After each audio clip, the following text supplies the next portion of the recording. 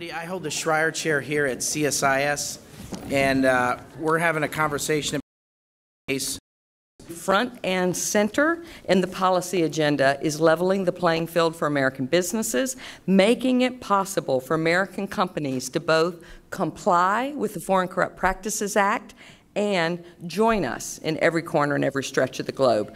Removing impediments for American business is one of the things I think we should be doing. Why? I'm a bit of an evangelist on this. Yes, we hear the headlines sometimes about an American company that didn't do the right thing. But what you see when you spend your life overseas, like I do, is the amazing transformational impact of having American businesses alongside you. I have seen first power, firsthand the power of American business to transform a country, to demonstrate what it looks like to do business transparently, accountability, without paying bribes, Every time an American company does that successfully overseas, it squeezes the room for corruption and pushes it back in the corner in the hole it should belong in. I've seen the power of American businesses to serve as an engine of opportunity it's like one of the best brand uh, campaigns we could do for what America's all about. I've seen them hire based on drive and skill and know how, not on the right family name. And I've seen people be advanced on merit and hard work rather than on family connections. It's the American dream exported abroad. And I've seen American companies solve unbelievably complex problems and manage unbelievably complex projects. Um, if if you want to in the Q&A, I'll talk to you about the Panama Canal bid and about the London Olympic Village brought to you by great American companies demonstrating the very best of our know-how. When great American companies gain a foothold, sometimes they do that with the help of an embassy to lay the groundwork for them. What happens is they can transform the environment for the better. They advance our development goals tremendously. They advance our counterterrorism goals. They advance our national security goals and they do wonders for America's image, for our soft power, for our approval rating, which is perhaps the best coin for any American ambassadors you want a strong approval rating. I'm going to skip my five or six examples because I think Dan's going to come to those later of what we can do, but I'm just going to end with this image. When I started my career, I worked in Latin America, which we spent a good bit of time talking about at lunch. And we had these maps all over our embassies, and they were of uh, in two colors green, brown, and Panama was gray for reasons we can discuss. That's where I was. The green countries were ones where the democracy agenda had taken hold, where military dictatorships had been replaced by democratically elected governments. And our job was to turn that entire map green, to bring democratically elected governments. It was a massively empowering kind of vision. Um, it gave it was clear we knew what hill we were supposed to take, and we poured our hearts and souls into it. It really resonated for us. So when I got to London at the, my last overseas posting, and the companies I was working with, American companies who had their EMEA, Europe, Middle East, and Africa practices headquartered in London, told me about the maps they had on their walls, I was a little horrified because they had big maps of continents, including Africa, with countries grayed out as places we can't do business. It's too corrupt. We can't pay the bribes. Our contracts are unenforceable. Don't even go there. Don't even think about it. Cede the field. This strikes me as a really, really bad geostrategic space for, Amer for the world's global leader to be in. We want to reverse that. So what I want is a new mission. I want a new charge, and I want business and, and other thinkers that are here to create a demand signal for Foreign Service officers to get out there and shrink that gray space. Gray space grow a map where American companies can compete on a level playing field. And then they can operate effectively, and then they can burnish our brand and remind the world why America is the indispensable business partner. There we are. Thanks, Ambassador Stevenson. Okay, Laura Lane, you're the president of global affairs at UPS. You've had several really interesting past lives. Mm-hmm. You were you had a, a similar a, a, very senior level role at Citigroup, mm-hmm. and then you were also at Time Warner. Mm-hmm. But you also were a foreign service officer. So, what do you think about this?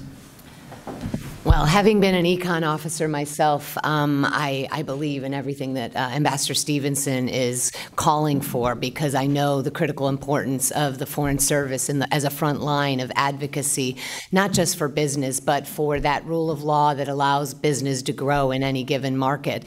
Um, we are big believers that where democracy flourishes, there's opportunity, economic opportunities. And now serving in this uh, senior role at UPS, we decide which markets we go into into based on you know the uh, the rule of law that exists in those markets. And so, couldn't agree more in that the embassies have been our partners in every market that we've gone into. Just by quick background, UPS um, delivers in 220 countries and territories, and um, we uh, carry three percent of global GDP. We'd love for that number to be bigger, um, and at at times we can only cross the border and hand it off because there are some concerns about that that last mile delivery and the kind of requirements that um, would be needed to deliver that time definite um, package, um, given that there isn't a clear uh, understanding of what the rules are, what the requirements are, and sometimes that there are expectations about uh, facilitating payments, which we as a company, first and foremost, not just because of the law, but because of the integrity that is so central to who, uh, who we are as UPSers, um, keeps us from going into markets We'd love for that whole map. I'd say maybe not green. I'd say all brown. Um, in that we want it to be, we want it to be places where UPS can deliver everywhere, end to end. Um, but then again, at the borders is where we see the biggest challenges because that's where corruption thrives in so many countries. If we can address those fundamental issues of corruption at the borders, I think we could have a tremendous impact in terms of growing exports as well as foreign investment. What greater partners could we have than an embassy, foreign commercial service officers, and foreign econ officers by our sides, championing the importance of that kind of clear process starting at the border and continuing on into the country. So, from that perspective, from my experience as an econ officer, I know the role that Foreign Service officers can play. Um, from the perspective now within business, I know that partnership is essential because together I think that is the secret uh, to how we can grow American business opportunities, not just exports, but investments around the world. Thank you very much. Okay. So, Kendra, you're the Senior Policy Director of the Americas Program at the U.S. Chamber of Commerce, but you wear another hat. You're the, you manage the Chamber's Coalition for the Rule of Law and Global Markets. And you also had a past life at the State Department. You're a, you're a former career diplomat and civil servant. So what do you think about this? Well, it seems like we all have a lot of past lives here, but the good news about uh, previous iterations is that it gives you great experience from, from which to look at an issue and bring a lot of uh, expertise to bear. And so I'm very proud to, to serve in those two capacities that Dan mentioned um, in our Americas uh, team for our international division of the U.S. Chamber of Commerce, where we're focused on uh, hemispheric growth and opportunities, particularly for American business, and uh, as the head of our Coalition for the Rule of Law in Global Markets. And one of the reasons why we have this coalition is because our president and CEO, Tom Donohue, is very uh, frequently reminding um, our, our American business and our global community that 95% of the world's consumers are outside of the United States. So that means for American business, for American companies who want to grow and compete and thrive, they're looking at markets beyond the United States border. And so for companies who are looking at those opportunities, they're really looking at some key criteria. They're looking at market opportunity, market access, and then they're looking at the rule of law. And I know that this is a conversation about corruption, but our, the reason that our coalition is focused on the rule of law is because we see corruption as really a symptom of a broader concept. And so we focus through the work of our members in highlighting these issues, collaborating with the State Department and with uh, the various ag- agencies across U.S. government to really uh, emphasize why this is a priority for the business community. We work with partners. Um, in governments around the world, particularly through our American Chambers of Commerce. And specifically, there's an intersection in our work, um, my work, my two hats um, in the Americas and in our rule of law work, and that it was our American Chambers of Commerce in Latin America and the Caribbean, which have an association called AACCLA, where in an annual survey they identified the challenges of rule of law as being the number one persistent issue that American business was facing when uh, seeking to compete for opportunities in markets across the region. And so through AACCLA and through that impetus of collaboration with our AmChams, we launched this coalition and a dashboard that measures the challenges that American businesses face in the market. But more importantly, we're, we're delighted to be able to talk about this and, and really welcome the signals from Ambassador Stevenson about the engagement of the Foreign Service uh, on this issue because we think it really is about having a positive conversation with partners, partners here in the US government, about why this is important for the American business and how we can work together to elevate these concerns as we uh, work with our global partners around the world, and also in partnering because often when we are uh, traveling around the world with delegations as incoming governments come to visit us at the chamber, they're looking to encourage and attract greater U.S. investment in their markets to help grow their own uh, economic opportunities within their own countries. And in so doing, they want to see the U.S. be a key player in that. And so we have the opportunity, through a spirit of collaboration and an opportunity to encourage governments to look at the rule of law, look at the institutions that they have in place that allow for business to thrive and to be able to have a positive conversation about those things that governments can focus on to help uh, grow the pie in their own countries, which also helps American business to be able to compete better um, within uh, the rules of the road. So Kendra, do a one-minute infomercial about unlocking growth and prosperity because I think it's a very interesting product. Absolutely. As I alluded to, and thank you for the, the, the lead in to the infomercial, we have a report that we produce that's uh, adequately titled Unlocking Growth and Prosperity. It is uh, most recently published in December 2017, but it's something that we started working on and publishing 20, in 2013 that looks at um, the rule of law and how it is respected, specifically with a focus on those indicators and those topics that are important to business. And so those five areas are transparency, accountability, stability, predictability, and due process. Those are key criteria that companies are looking at when they're going to do business in a market. And so when those governments come to us or when our AmChams are meeting uh, with their host governments and talking about opportunities uh, to attract American business to their markets, we can point to the opportunity to increase prosperity in those markets by focusing on these key institutional areas. Great. Thank you. Okay. Nancy Boswell, you're director of the Anti-Corruption Law Certificate Program at American University, but you're really well known in Washington for having been the president and CEO of Transparency International USA from its founding in 1994 to 2011. You had you were a lawyer at one part, point in your life. You were a banker at one point in your life. Anyways, but but but you are but you are someone that when I think about anti-corruption efforts in town, you're a, you're top of mind for me. So is this what Ambassador Stevenson and the other folks put on the table, is this, is this realistic? And if it was realistic, what would be the sorts of things you'd want to see? Thank you for including me uh, because I do think it's, it's an important discussion and uh, it has been a long time that, that we've all been working on this and many people I see sitting out in, in, uh, in our audience today have been working on it longer than I have, if that's, if that's possible. Um, I mean, first and foremost, uh, I think there's a synergy here between what's in the interest of ethical American business and what's in the interest of the people of the countries where American business operates. I think sometimes uh, the sort of um, level the playing field America, American business, uh, championing their interests doesn't go over terribly well uh, in countries that are struggling with corruption themselves. The citizens of those countries equally suffer when procurement, let's say public contracting, uh, runs amok. So there's $10 trillion in public contracting. American business, if they can't pay bribes, is going to lose huge opportunities uh, for contracts and therefore uh, jobs, job creation here. Uh, but on the receiving end of that are a lot of citizens who need those public services.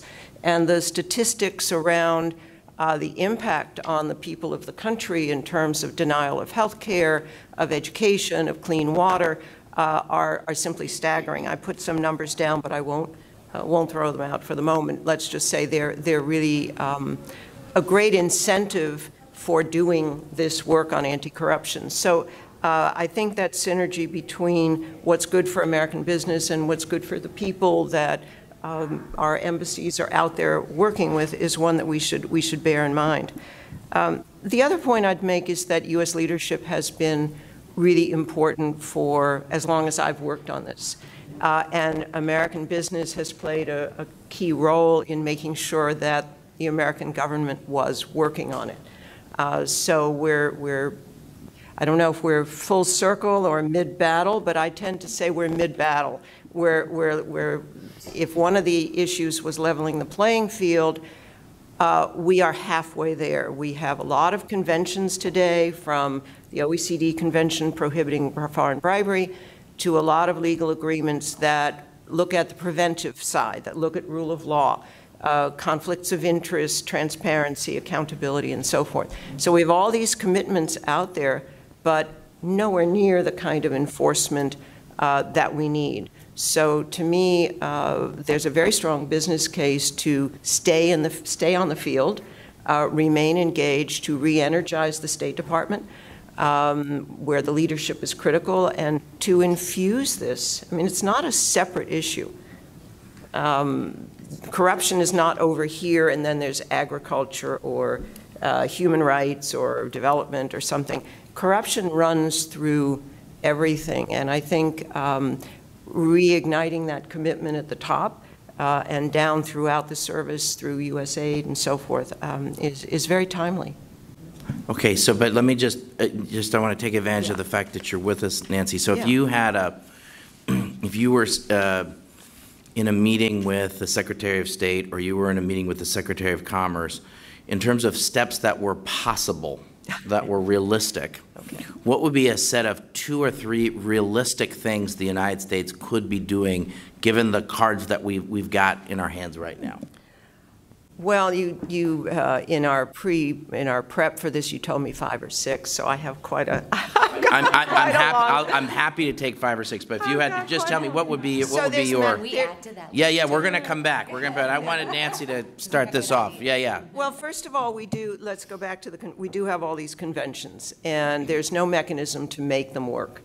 And I think everybody's beginning to look, uh, from the OECD Working Group on Bribery to the OAS with their convention to UNCAC, how do we move countries who have been told, here are the vulnerabilities, the deficiencies, you need to take action, but they're not doing it. So I think some rethinking of um, name and shame penalties, something that moves us forward. Similarly, the World Bank, the Investigations Unit, INT, and the IDB and so forth have done an amazing job um, pursuing allegations against companies and sanctioning uh, companies found to have engaged in, in bad practices, but they also refer the cases to the governments where the public official is.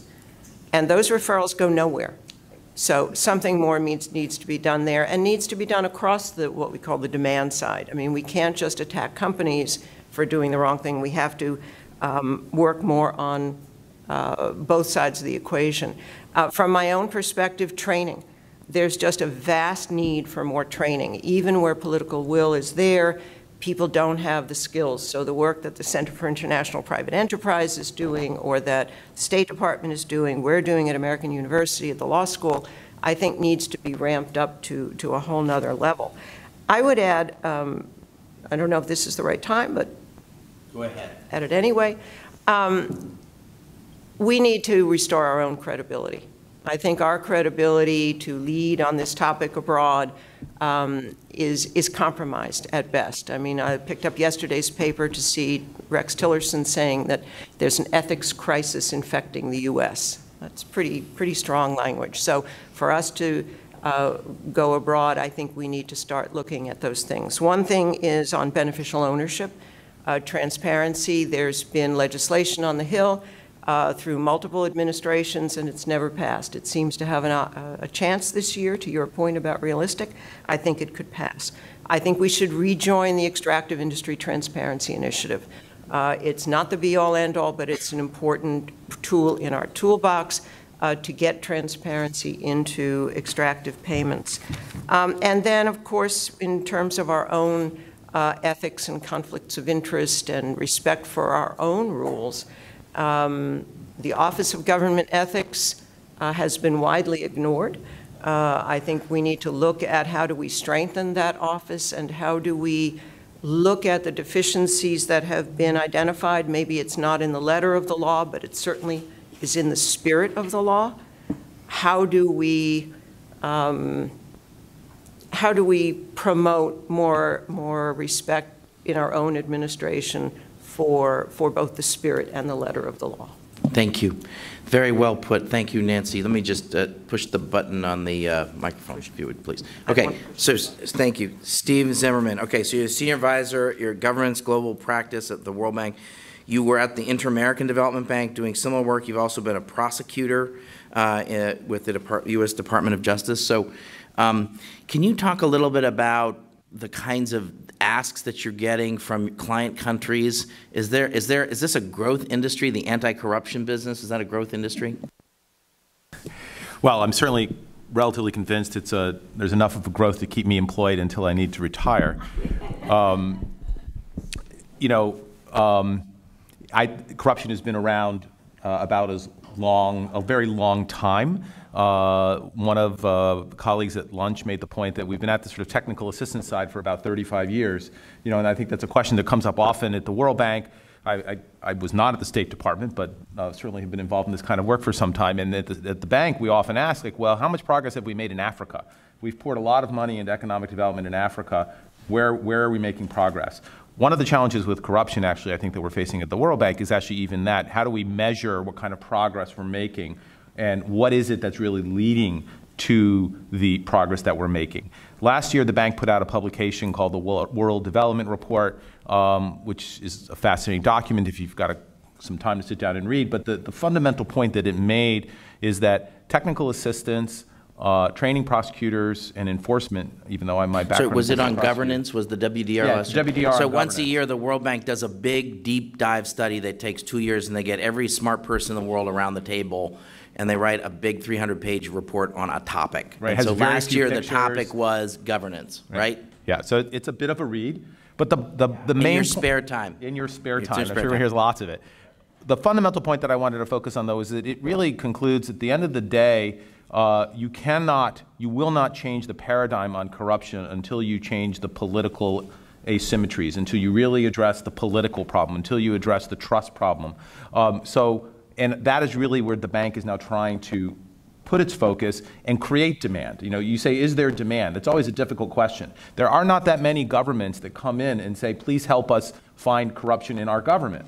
Um, and that's true around the world, regardless of the economic situation. So the challenge at the bank is to try and find a way to create that demand and to demonstrate why it should be there. We do get, we do have demand for technical assistance, and we work with the State Department and the other governments. We, we do get demand for putting in place different types of programs, and it is, it's fairly substantial. But what we're really trying to do now is find other entree points to address the problem as a development challenge and get countries to look in the longer view. I think one of the challenges, and this is certainly true in the United States, as in true in any country, is politics is very short term.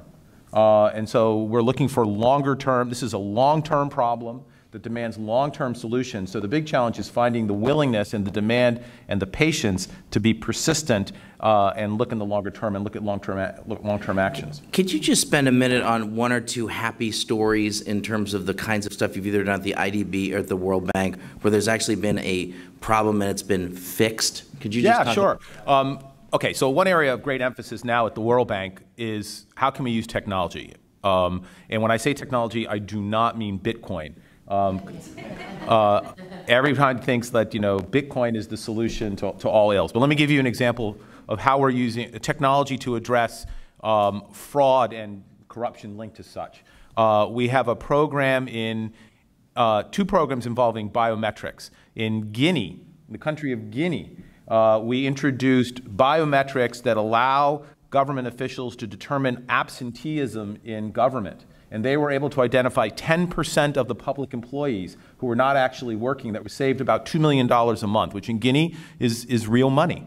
Uh, in India, we had a similar program for teachers, where we were able to use biometrics to identify uh, absenteeism. Essentially, uh, my, my family's actually from Argentina, and so the, the, the word for this is called gnocchi because gnocchi is the food you eat on payday. Uh, and you, everybody went out and got gnocchis because you didn't work all, the, all month, but you got paid once a month and you went and had gnocchis. So the people who didn't work were called gnocchis. Uh, and so this is a, an, an example of how we're linking technology to deal with a very pragmatic problem that goes to the revenue of the country. Because one of the big challenges of corruption in the developing world is it saps away domestic revenue, which means the money coming from the State Department or AID, it doesn't necessarily just go to, to adding to the revenues. You're, you're supplanting, you're replacing the money that's lost to corruption. So those are two examples where we actually use technology to help with the budget, but specifically on, to address fraud uh, not as directly connected to corruption, but still an example of how we would use those, those products. Yeah, let me just, let me just push Stephen just a little bit further. Okay, so how much of this is a, if I say that there's, there's a cultural component to corruption, what's your response to that? This first thing. No. Se- No. Okay. Second, question. thank you, thank you for your brevity. Second is, second is, uh, if the U.S. said they wanted to get at the front of the parade on anti-corruption, what's your reaction to that? Don't. What? They should not get to the front of the parade. They should not get to the front of the parade, and why not? That, this is the answer I gave 15 years ago. It has nothing to do with the current political situation on which I have, uh, will not comment. No, no, no, no. But the, the reason is this. Corruption, the U.S., for the last 20, 30, eh, forever, as long as this, in modern political times, meaning the last 20 or 30 years, the U.S. has been at the forefront of this issue. The FCPA, uh, the way DOJ, OECD, yeah, OECD, even pushing the OECD. The OECD is essentially, you know, coming on the heels. The World Bank to use the word corruption in 1990. Exactly, Jim Wolfensohn in his speech. The U.S. has always been the one pushing this agenda, pushing the rock up the hill. Um, that got to a point 10 years ago, I think, where a lot of the rest of the world got a little tired of the U.S. always singing the anti-corruption song, and they felt like, uh, this is from my experience at the IDB, there was a perception that it was a U.S.-driven initiative. And my advice then, and would be now, is the strength of the U.S. in this case is to lead from behind. You know, set aside current political situations. The, the, the rest of the world needs to step up. And when I say, and we start with the G7 and then you move into the G20, and we talk about, you know, I'm skipping ahead to suggestions, I suppose, but I think in the context of the G20, I represent the World Bank at the G20 and the anti-corruption working group at the G20. Uh, and I have conversations with the U.S. delegation, which have not changed over the last 10 years. Uh, they're the bank. That's an opportunity for the, for the U.S. to push the rest of the G20 in particular areas and, and lead from behind. They don't have to be in front of this issue, but they need to make sure that there are other champions for the issue. Okay, thank you. Laura, please. So, three comments. First, picking up on Stevens, um, the idea of leveraging technology is key, and think about it at the border. The one thing that the U.S. government could do is uh, ensure the effective implementation of the WTO Trade Facilitation Agreement. You know what that gotta- Yeah, explain what that is. Okay, the WTO Trade Facilitation Agreement is the effort to put in place rules um, for customs, and one of the principal fundamental aspects of it is to take technology and turn customs processes electronic. You know why that's key? Bit streams don't ask for bribes. And that's how you start tra transforming borders um, in terms of creating those processes that make it automatic for goods to move across the border.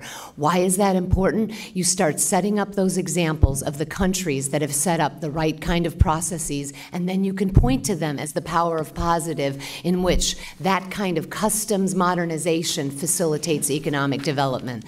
The third point I want to make is I'll give you a very concrete example, and it's one that's very personal to me. I served at the American Embassy in Kigali, Rwanda during the genocide. Talk about the collapse of the rule of law. I witnessed that firsthand. Fast forward, uh, almost 24 years later, I returned to Kigali, Rwanda as a representative of UPS to launch, ready for this, the very first drone service anywhere in the world, a commercial drone service for the delivery of blood and medical supplies. And you know why that transformation happened? Because Paul Kagame recognized that the collapse of rule of law, which uh, was a large part among many other factors for the genocide, needed to be rectified. He put in place a regulatory framework that allowed us to approach him and said, listen, we're going to be bringing some innovation, i.e., drone technology that's never been used in a commercial way anywhere in the world. We need our intellectual property protected. We need those medical supplies crossing the border and coming in so that we can make sure we deliver to any clinic 15 minutes or less anywhere around the country. Uh, uh, General Kagame now, President Kagame said, "You have my commitment." Got the whole, all of the uh, affected ministries involved, and you know what? We're doing 40,000 drone uh, deliveries on a regular basis, um, saving lives, and it's all because the customs processes were modernized, the rule of law was established, and you know what? We brought innovation there. So you don't need the U.S. leading. There's an example of a fourth world becoming third world country, i.e., Rwanda, saying, "You know what? The rule of law works for our economic development, and it can bring a better quality of life to our people. Okay, so well, Laura, let me just take advantage of the fact that you have the microphone. So, okay, so I agree with you about the trade facilitation agreement. That's a, it's an unbelievably important, it's the most important trade agreement most people have never heard of before, but Yeah. it's really important. It's about fixing the plumbing at customs and borders is a really critical thing, and it's what's keeping the WTO alive. We've done a number of things here at CSIS about it, so we're very, we're big on the trade facilitation agreement. But, uh, so, but if you had the Secretary of State and the Secretary of Commerce and the National Security Advisor and, and the head of AID in front of you, like if you, in addition to the trade facilitation agreement, what would be two or three other things you would think the U.S. government could or should be doing right now on this issue? Trade facilitation, trade Amen, facilitation, yes. trade facilitation. Good answer. I, I Good think, answer. I think we don't need to dissipate the resources. We need to be singularly focused on that. If you fix the problems at the borders, you can fix a lot of onward issues. Because you know what? Companies aren't going to invest if they can't bring their inputs in and because they're going to be stuck at the borders. You can't foster economic development if you can't help, um, how should I say, raise the standard of living on the healthcare side or any number. So it's got to be all, it's got to be trade facilitation, trade facilitation, trade facilitation. Okay. Are you saying it's trade facilitation? It is trade Okay, so- facilitation. Okay, thank you. Okay.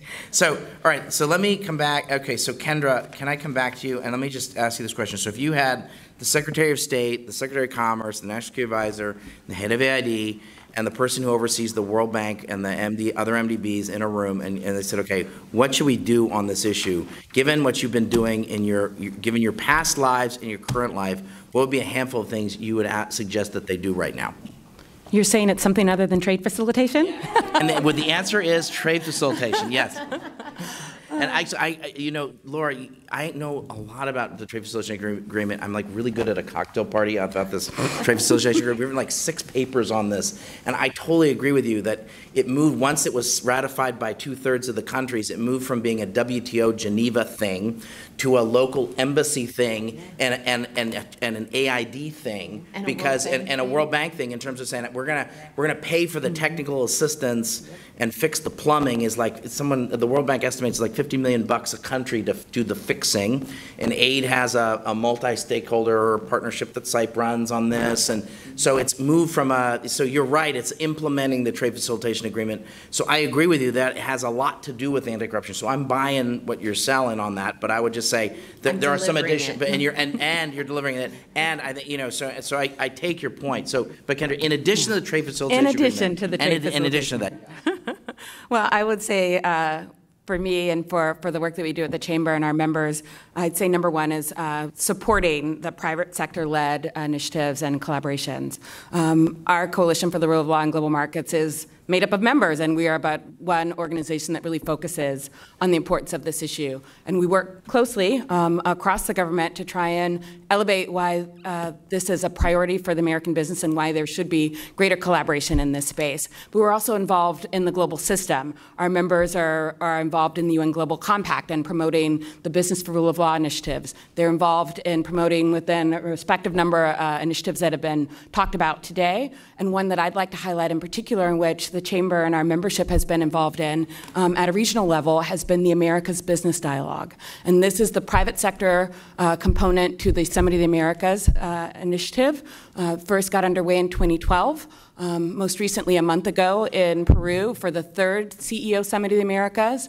Uh, the private sectors, not just the United States, but our hemispheric partners around the world, came together and put together an agenda for, for economic growth in the region and across the hemisphere. And one of the key areas, the first recommendation in that initiative, um, in which our U.S. Uh, companies were very actively involved was strengthening transparency and integrity. So recognizing the public-private partnership benefits of collaborating to address these key issues and creating that transparency and accountability, uh, creating the, the predictability of the markets, putting in place the, the systems that allow for due process and for companies to have a mechanism by which they can do business and be good partners um, in, in the system. And so I would say um, on the regional level, on the global level, in our uh, collaborations here domestically that really focusing on uh, supporting those private sector led initiatives is a really key signal because uh, as we've talked about this is something that's very important to the private sector.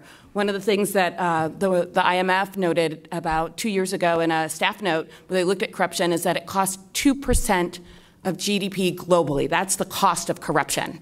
Um, so when you look and take it bigger and, and, realize again that corruption is but a symptom of a greater failure of rule of law, it's really important to listen to the private sector and, and the ways in which they can unleash growth through private enterprise. And, and so being supportive and working in lockstep to, to support the environment and the business climate in which companies are operating benefits not just the American businesses that are going overseas, but it benefits uh, all of those global partners who are part of similar initiatives and those private sectors who collaborate. So okay, thank there. you very much. So, Stephen Zimmermann, let me just come back to you. So, I know you wear a World Bank hat, but you're also an American citizen. So, from where you sit at the World Bank, and if you were thinking about ways in which the United States could make a contribution in this area? Given the cards that we've got currently, are there certain things you'd like to see the United States government doing more of in sort of in in terms of how it engages with developing countries? What would be some of those things? All right, so I'll, I'll dodge the question only in this way. The, I'll make a couple suggestions that I think not just the U.S. but other large uh, the more larger economies, the OECD countries writ large, could do. One, I'll pick up on the point that, that Nancy mentioned, but I'll, let me uh, expand on a little bit. Financial transparency. Um, that is a fundamental key to taking this problem uh, back to the citizens, empowering people in countries to do more about the problem, empowering citizens, empowering the media, um, holding the private sector to account, giving the private sector a vehicle to say no. It's not just about holding them to account, it's putting them in a position to do so. When I say financial transparency, there are, there are two sides of the coin. Sure, there's conflict of interest and there's beneficial ownership, which are the same thing. What conflict of interest is the disclosure of uh, connections by public officials. Beneficial ownership is generally the beneficial ownership of private enterprises. So those are the two sides of the same coin, which are critical. Um, and there is an enormous opportunity to do more in both of those areas. The World Bank just launched its own beneficial ownership policy where it now requires companies, it's a starting point, and we're not as far as we need to go, but we require companies above, who get contracts above a certain, certain threshold to reveal their, uh, their uh, ultimate beneficial ownership. Conflict of interest is an issue that's going before the G20 Anti-Corruption Working Group next month uh, some high-level principles. High-level principles is always great diplomacy. It's not very pragmatic. The, the, key will be taking it down to the next level. So supporting those two initiatives, I think, would be great. Second area would be global cooperation. And there again, there's sort of two components to that. First is on the, the organizational side, which we touched on, OECD. The OECD Working Group Against Bribery, I think, is the best name and shame group that we have, and the U.S. has and should hopefully continue to play a leadership role. But it's also implementation of UNCAC. It's, it's being involved in. What's that? What's the uh, limitation? The UN Convention Against Corruption. Uh, in, in, very banky academic terms, it's going from the, the de facto to the de jure. It, it's going beyond just the laws, which many countries have. I've been to many countries which have amazing anti corruption laws um, or have constitutions that look very similar to the U.S. Constitution. There's a great Star Trek episode where a country, a world, has adopted the U.S. Constitution yet is completely dysfunctional. So you have to go past the law and go to how it's actually being implemented. The second component of cooperation is on the enforcement side, which is what's near and dear to my, my, my heart. Uh, and being a facilitator to make sure that there's global cooperation because money knows no borders. And it's not just about prosecuting in the United States, it's about facilitating the return of assets, it's about facilitating um, things beyond criminal prosecutions. It's looking at administrative remedies because in a lot of countries, you're just not going to get a criminal prosecution. Um, and that includes places like France, um, where things can be much more challenging to get a criminal prosecution. Uh, and then lastly, the last area I would say is actually go beyond the rule of law. This goes back to the point I made before, which is work with countries to prepare for that moment when the new president comes to power who's committed to actually fighting corruption and put in place the mechanisms that allow he or she to stay there. Because usually what happens, or often what happens, is they start with the right commitment, but the mechanisms and the framework overtakes things and they're not they're left their choices are fairly limited. So I do think that the G7 has the ability to help countries prepare for that moment. Because if you're not prepared for that moment, it's much easier just to slip back to where you were. Okay. Nancy, I know you wanted, I wanted to bring you, to bring you into this conversation. Well, and in some way, just to underscore some of the things Steve said, because he mentioned support for civil society, the media, independent courts. Um, we are living in a moment where the tide is running against. And it's one thing for U.S. embassies, I completely agree, to step forward, do all this good work for the private sector, American private sector to be uh, partnering. But at the end of the day, the work has to be done on the ground by the people who live there, by, covered by the journalists who live there, uh, and so forth. So um, it is it, a lot more attention has to be paid to them and getting resources and political space for them. And in that regard, I would say if I had all those big honchos in front of me, you said, what would I say? I'd say have a consistent public policy position when it comes to autocrats, because we can't be putting our arms around uh, Some and not others. we can't be putting our arms around people who are shutting down civil society, who are killing journalists, who are making it impossible, uh, not only for democracy, but certainly for, for the fight against corruption. So there's a, a, a you know, inherently conflicting message there that I think we really have to have to look at if we're going to be successful. And just to, to come back to the capacity building, I know we've done it for a long time. I know we need to address culture and values and all of that. Uh, but I can tell you from the people who come through our program, from Africa, from Asia, from every part of the world, um, they, they still need skills. Um, they, they need skills in how do you get evidence from abroad? How do you create incentives so people will blow the whistle? I mean, there's just a lot of information and new generations coming along. Uh, so I, I think we shouldn't just dismiss that as that's, I mean, yes, everything has its limits. We have clearly from this panel a long list of suggestions, um, all, all good. But just, I just want to underscore something that I think you said at the beginning, Yeah. is the uh, issue of the progress that's been made. And I think, could you just, could you just spend just another minute on that? Because I think we had a conversation over lunch about sort of the, the trajectory of progress. I mean, we've come a long way from the Foreign Corrupt Practices Act. Could you just, just Yeah. reflect on that for a second? Absolutely. I mean, I think we could spend the afternoon talking about a certain kind of progress that we've made. There are over 180 countries who are part, which are parties to the UN, UN Convention Against Corruption. Um, you have all, virtually all the major exporting countries of the world have agreed to prohibit bribery in international business. Um, you've got all the major private sector organizations from the Chamber, the International Chamber, uh, the World Economic Forum, everybody, all the companies, major companies now uh, committed to compliance. Um, but we are only halfway there, if, if that, uh, if you want to talk about it in those terms.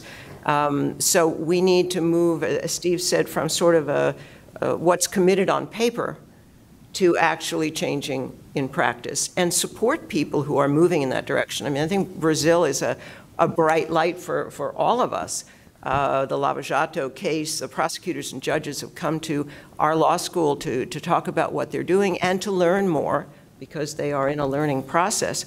Uh, but there are governments who are leaning in, uh, doing the right thing, and, and uh, it's a counterpoint to the number of governments going in the wrong direction. I think we need to step back and ask ourselves why we see so many uh, formerly democratic, hard-won democratic countries uh, moving toward illiberal, at best, illiberal democracy. So yes, success, but challenges. Okay, so Kendra, and then I want to bring Ambassador Stephenson back in. Thank you. I did want to sort of jump in on, uh, piggyback on the point that Nancy made and Steve just made, because I think it's important, um, the point about supporting uh, those who are uh, newly coming into office or newly taking on roles, and really um, emphasizing the importance of support for those, uh, those governments and strengthening the rule of law, and particularly in applauding the progress and helping them to maintain the progress they're made, they've made. Um, in the areas of international best practices as it relates to the rule of law, due process being one of the key ones, um, but really re- with res- respect to all of those aspects. And I think that that's a, a really key uh, point that I, don't want to get lost in this conversation. I would also just um, echo the point about the importance of civil society. And one of the things that I most appreciate about this panel, and one of the things that we try to do with our coalition, is make sure that we have not only civil society and government and business on the same room, but that we're all talking together because I think too often the idea is that you point fingers at one party or another about what they're doing or not doing, when really the solution is in collaboration and really bringing all parties to the table uh, to be able to, to address this issue. Okay, Ambassador Stephenson, so what do you think about this?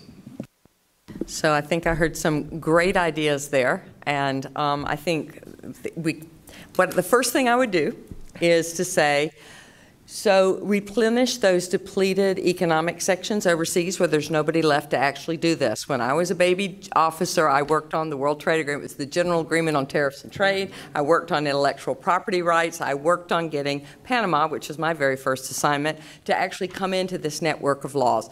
When I went back as ambassador 20 years later, I found my political and economic sections absolutely gutted. The positions had been moved to fill emergency positions in Iraq and Afghanistan. It's time now to move them back and to tell them. First of all, I would have told them, by golly, work on the government procurement process. Use the wonderful example I saw in Panama from the World Bank of Panama Compra, which was an online, speaking of technology, government procurement process. It was transparent. You had to have three competitive bids. It was dead easy for our civil service, uh, civil society partners to read it and track it.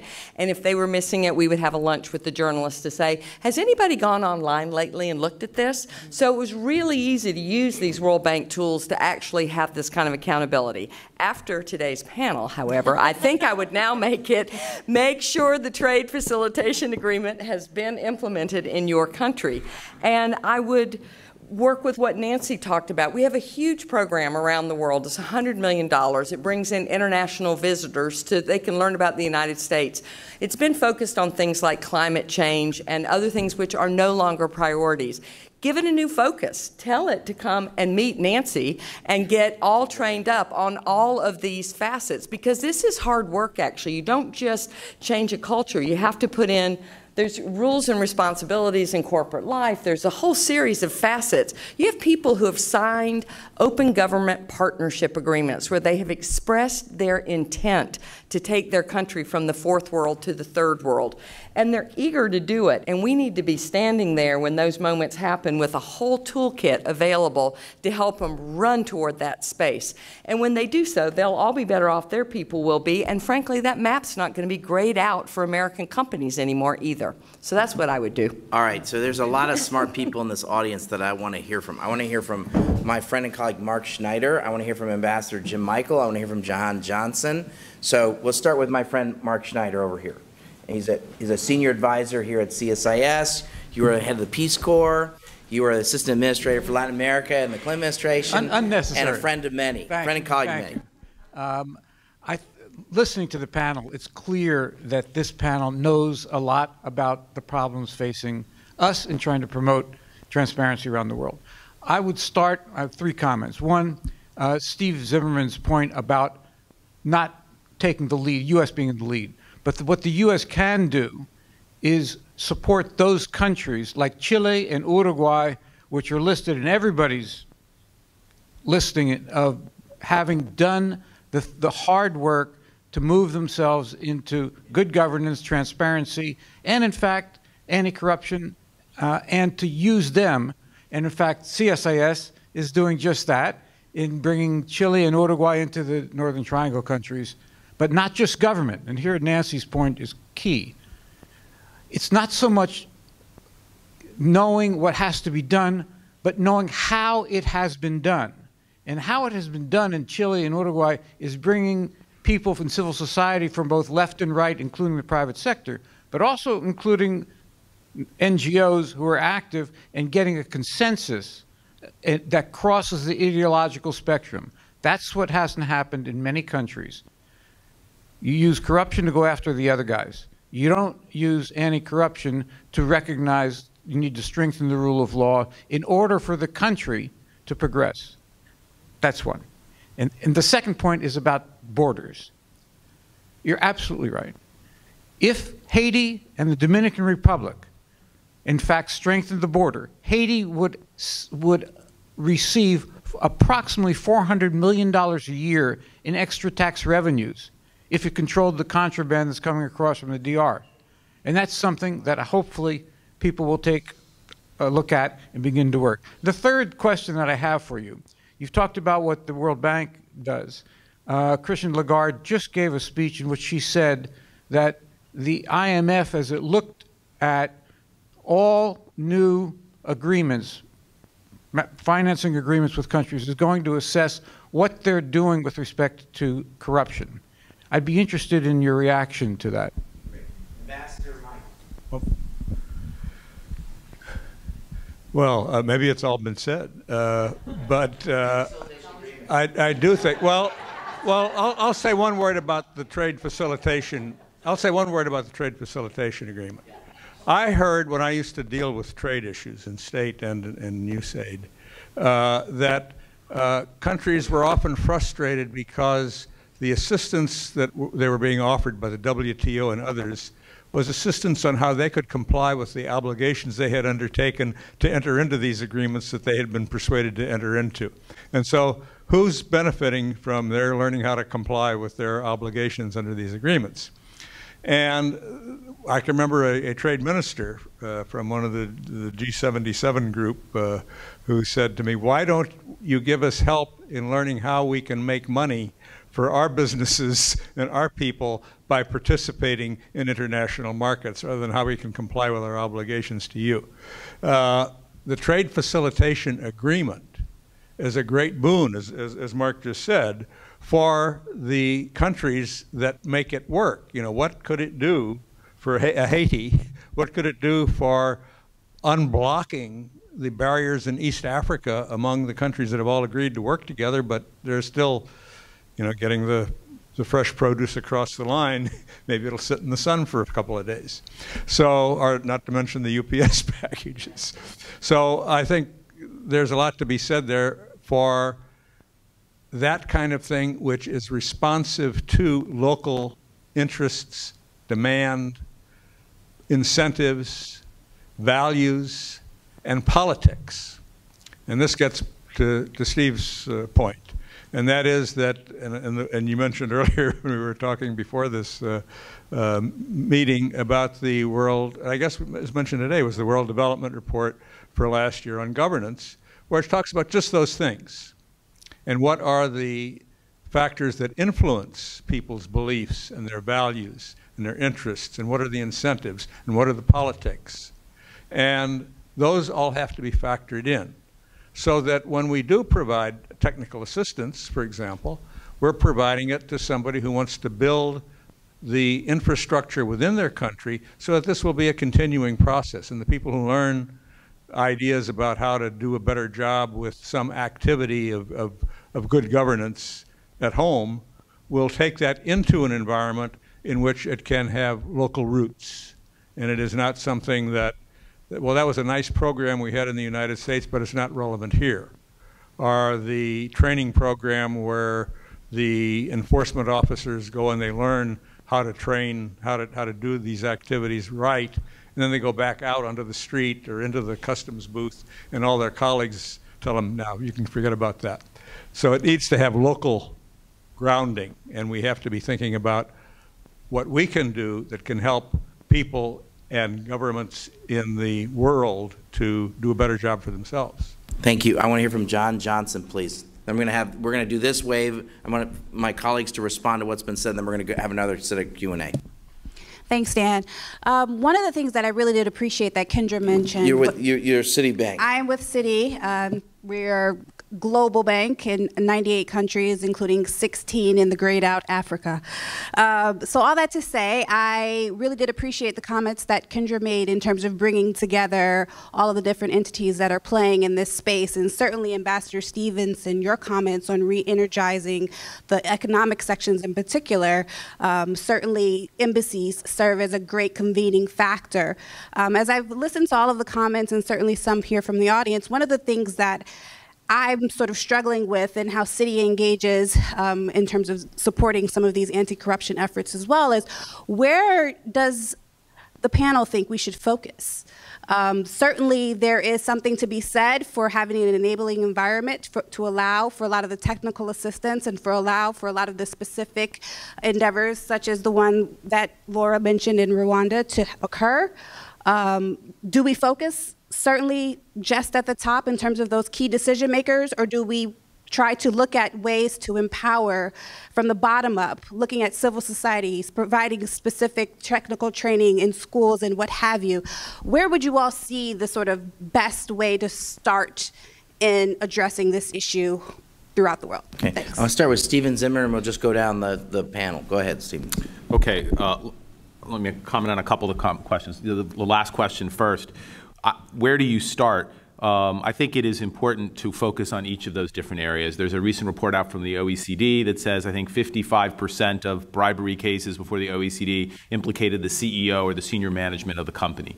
So you can't ignore that. The tone from the top always starts. But, but, uh, from our experience, one, middle management, be it middle management in government or middle management in the private sector, is absolutely critical. It may be influenced by the tone of the top, but you need to focus on the, let's take government, the middle management of government, the people who are executing. However, I would say the most important and perhaps the most forgotten is the, the youngest generation on really beginning to focus on the next generation. It's not that we give up on this one, but we look ahead. There was a great ad that I saw at a, in a in Mexico, you know, that ran before a movie, and it shows a, a father with a young boy driving down the highway, and he stopped for speeding, uh, and the policeman puts out his hand, clearly asking for a bribe, and the father looks at the son, and the son is looking up, doughy-eyed at the father, wait to see what the father does, and then, you know, the tagline is, you know, start, you know, teaching your children the right lessons now. So that's absolutely critical.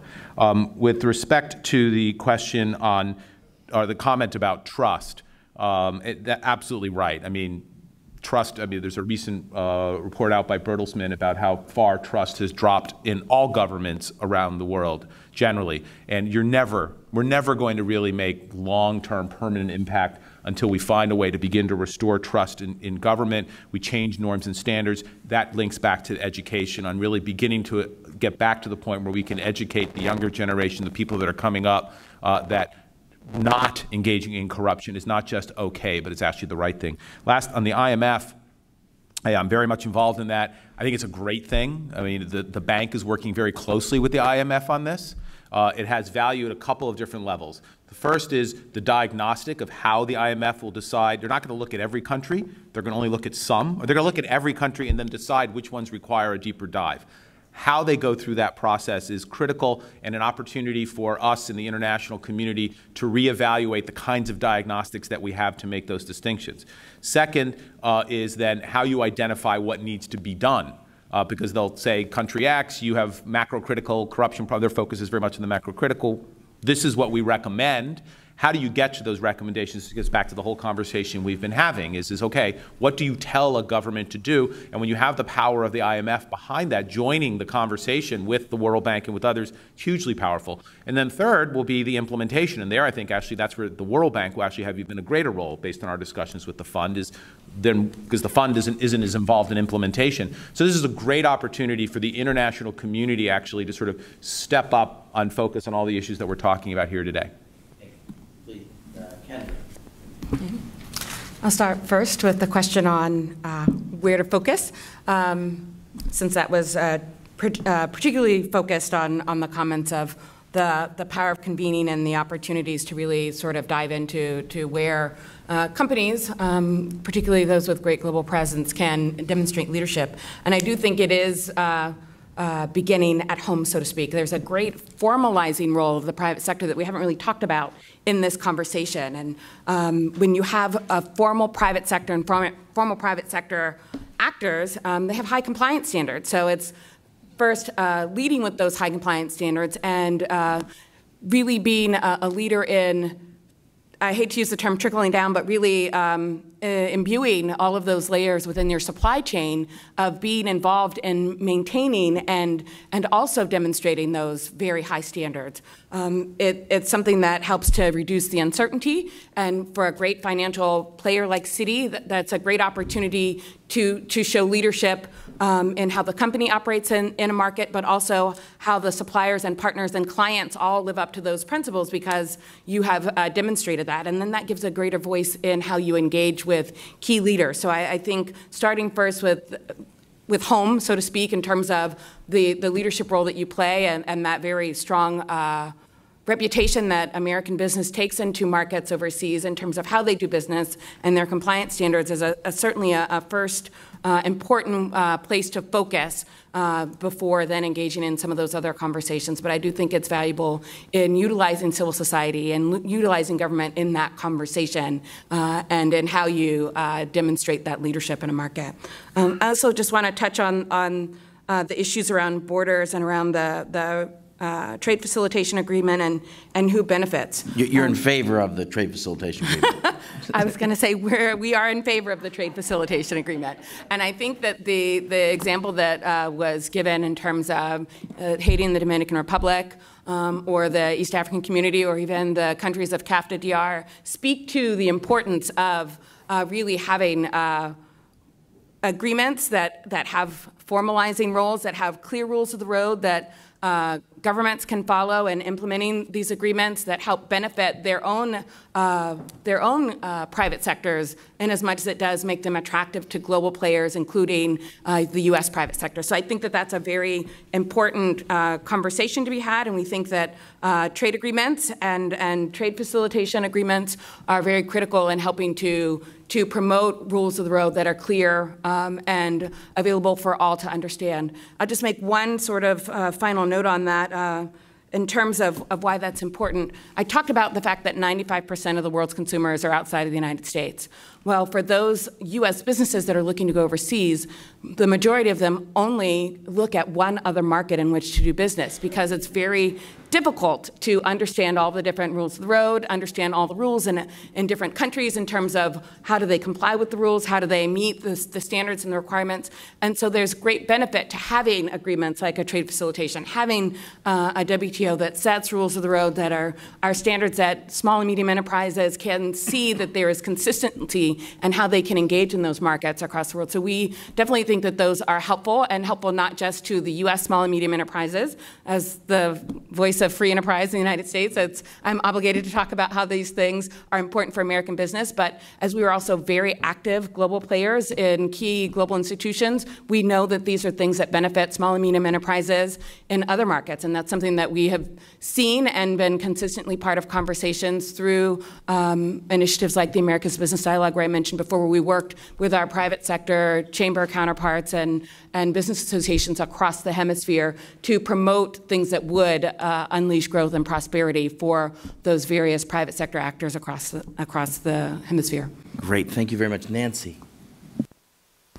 Well, they say you should have the same three things and just keep repeating them uh, so people walk away remembering something. But each thing somebody says makes me think of something else. So uh, I'll just keep. It's a growing list. I'll just keep. I'll just keep adding to it. I mean, I very much appreciate the question about what can any particular company do, and I think it must be very case specific. Once you get past make sure your own house is in order. But it does strike me, having worked with the Wolfsberg group of banks, um, that working across an industry sector can be enormously valuable. So um, whether it's reaching out in any particular country to make sure your competitors are doing the same thing you are, uh, or whether it's asking the embassy to reach out to other embassy people. I mean, one of the things we've suggested for a very long time is uh, can the embassy not bring in some of the people from the Japanese, Korean, German, and so forth uh, to try to help all of the com competitors be on the same on the same page. So I think we could we could explore that a bit more. In terms of the IMF, I'm reminded that it was actually Cam who said something about the importance of fighting corruption before Jim Wolfensohn did. Uh, but he he didn't get as much credit or any credit. Uh, the, the, problem I see, and I think it's great, Steve, that the IMF is doing what it is and that Christine Lagarde is giving it the kind of visibility. Um, for many years, the IMF has done ROSCs, these uh, reports on standards and codes, where they would assess very important aspects of the way the government functioned. Um, they did a lot on budget transparency, great guidance, and all sorts of good stuff. Where's the implementation? I come back to this halfway across the field, and we're not, we're not where we need to be. And part of the problem, I think, is because institutions deal at the federal level with the executive branch. And there are inherent conflicts of interest there. As Steve said, he doesn't get approached by too many governments that says, that say, tell me where the corruption is. Um, so governments get these assessments and then they don't allow them to be published. Or they get the assessment and they don't allow anything uh, to happen going forward. So I think we need to think more about working not just at the federal level with the executive branch, but across government more broadly. Uh, and my final point is on trade agreements. Uh, I'm not going to take issue uh, with the trade facilitation. You're in favor of the trade facilitation in agreement? In favor of it, but we've been, I worked on getting anti-corruption provisions into trade agreements for decades. There are anti-corruption commitments that are very important, notice and comment, appeals. It's important for business, it's important for the locals in the countries, and we are throwing out trade agreements. So be aware that when you throw out NAFTA, CAFTA, TPP, you are throwing out anti-corruption. So I come back to let's have a consistent policy. Um, Ambassador Stephenson, are you now or have you ever been in favor of the trade facilitation agreement? Not only am I in favor of the trade facilitation agreement, but Laura has reinforced for me the importance of a single unified message. Absolutely. Honestly, what I would do to answer Johan's question here, I would ask for, the, at the federal government level, for us to have a very broad tasking to the embassies, which is improve rule of law, to unleash growth and opportunity in the host nation and at the same time through the same process create better a better climate for American businesses to thrive. You do that, you start you set the conditions for a virtuous upward cycle. Then what do you start on first? This is really what the integrated country strategy by the multi faceted country team at the embassy in the host country tackles, right? And you sit down with business partners and you sit down with civil society and with journalists and with business leaders as well as government, but it's a much broader set of relationships. And you actually do what Alexander Pope said, I'm pretty sure it was Pope. First, consult the genius of the place.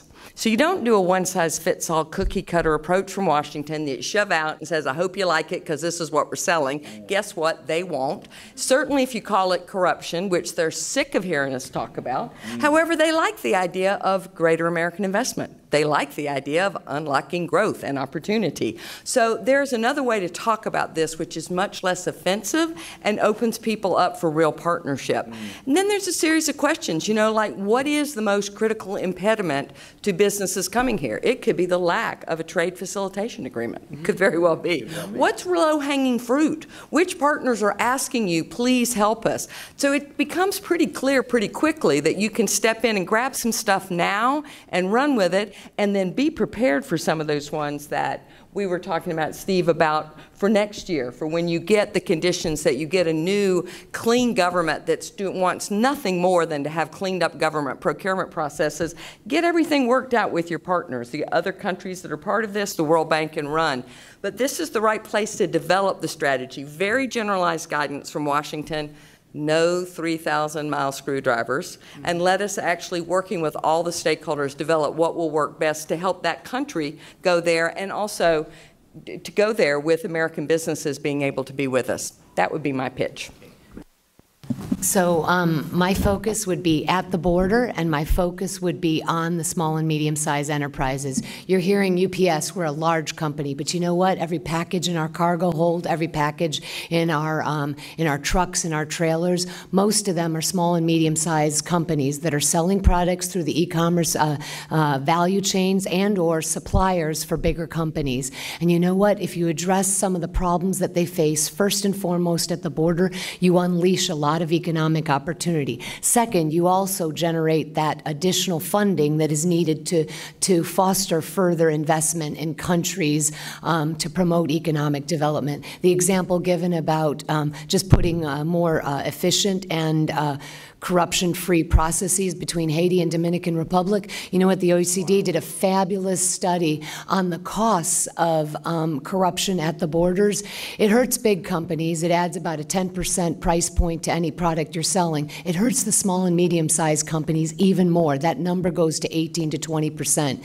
You want to unlock economic development, you focus on the SMEs, and you make them capable of going global anywhere.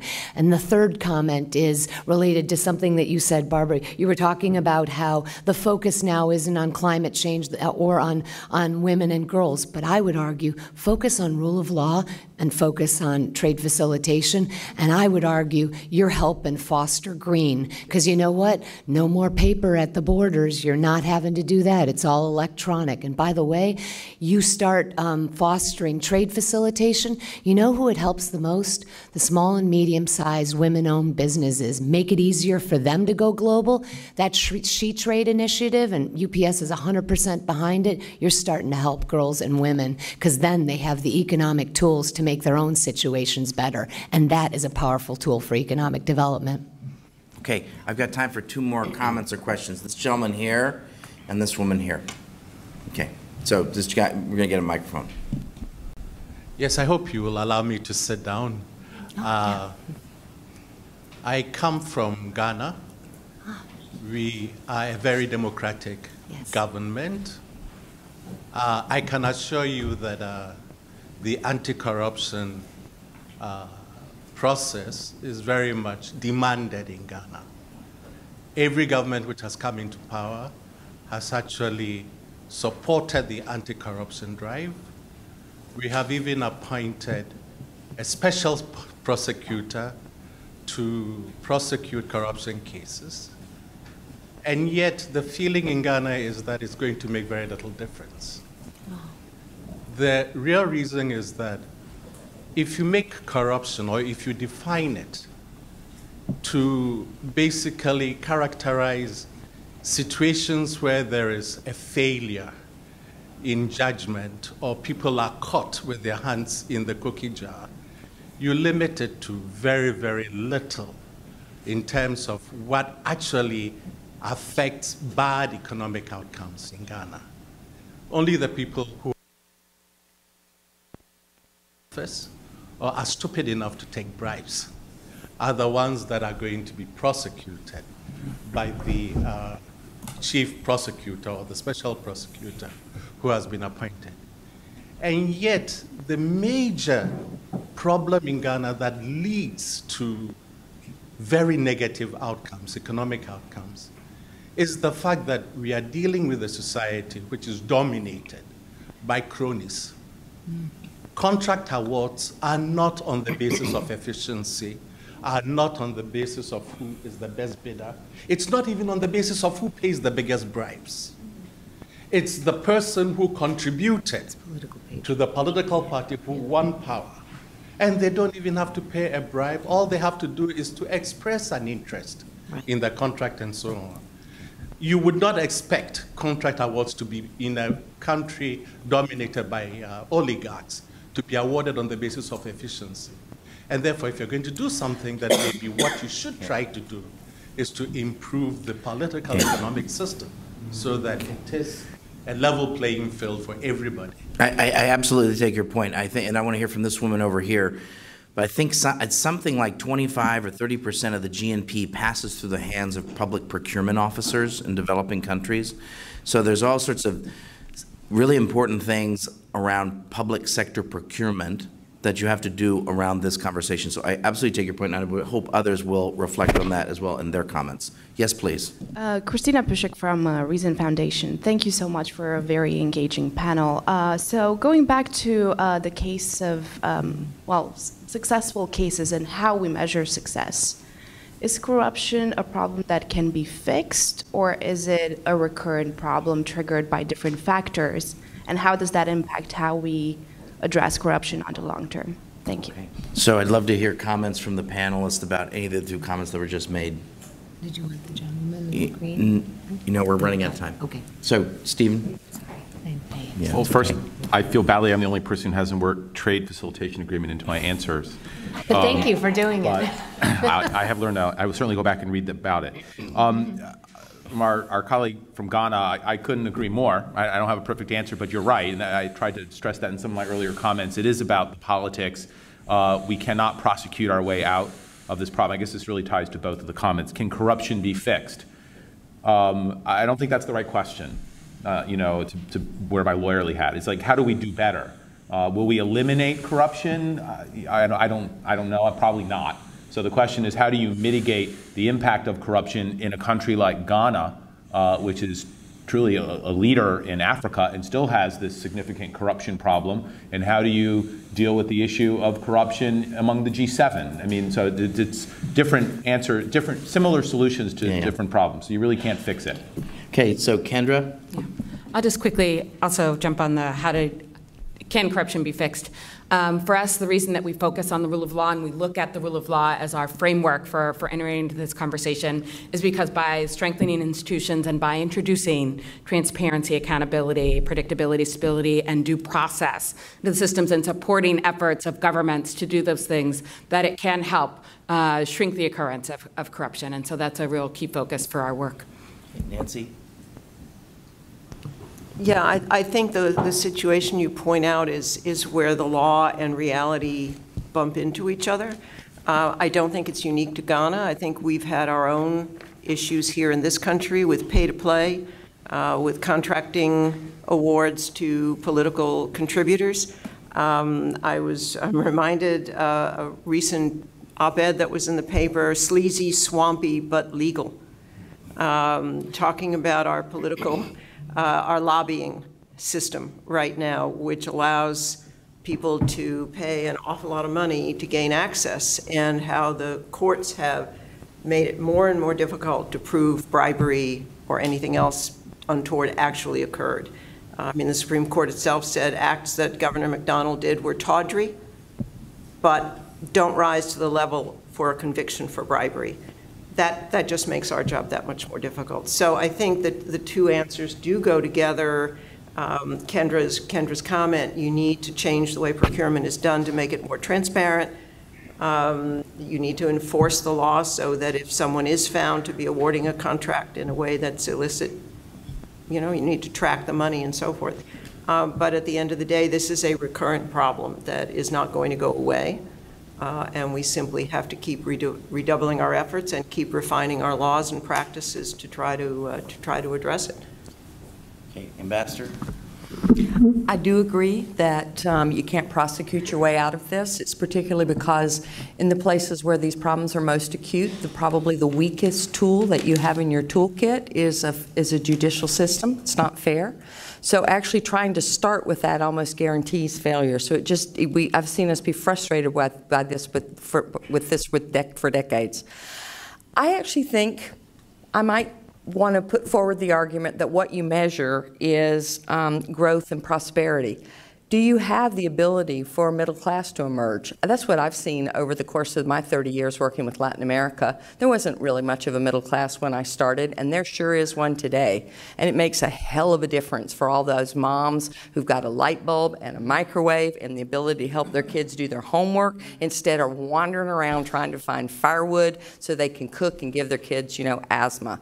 So it's transformed lives. It's transformed lives here. So I think that the perfect can absolutely be the enemy of the good. I mean, you want that's why I never talk about eliminating corruption. I talk about growing the space for a more positive kind of activity to emerge. It is an ecosystem. It does crowd it out. I could have a long conversation about what I found in Panama with the banking system during my first tour as a junior economic officer and what had happened through the work of the Financial Action Task Force by the time I went back there as ambassador utterly transformed. And do not confuse beneficial owners and bearer shares with the banking system. It's a lawyer's issue. But the part that was with the banks was fixed. So it does get fixed. And as it does, it's transformed lives. Panama has a robust middle class. I watch goods come in and I watch people actually be able to do them and spend lives in, in an entirely different way than they had 30 years ago. I think that's what success looks like. Okay, Laura. So um, just to pick up on uh, the words of our founder, we do the right thing whether we get the business or not. And so in the case of Ghana, all I'd say is um, whether there's still challenges in Ghana, the country needs to keep doing the right thing because you will get credit for it. And on that point, I'm uh, the vice chairman of the President's Advisory Council for Doing Business in Africa, one of the four countries that Secretary Ross um, and members of our council uh, are visiting is Ghana. Why? Because it is recognized as having taken all those steps to try to do the right thing. And maybe in that context, U.S. business can be partnering with those that are outside of that party cronyism and really advance um, the prospects for true economic development. So kudos to Ghana for taking those steps, and we'll try to um, show that there's value in having taken those steps. With respect to um, the question of are you ever going to get rid of corruption? Um, Probably not, but I would argue that technology can play a very important role in terms of taking the opportunities out of the equation, uh, focusing back on the borders, bring technology to the borders, and then you don't have to worry about some of that corruption happening because the bit streams, like I said, don't ask for bribes. So make it harder to do, and you create more um, uh, processes that level a playing field and uh, play to fair actors. Okay, please join me in thanking the panel. This was great.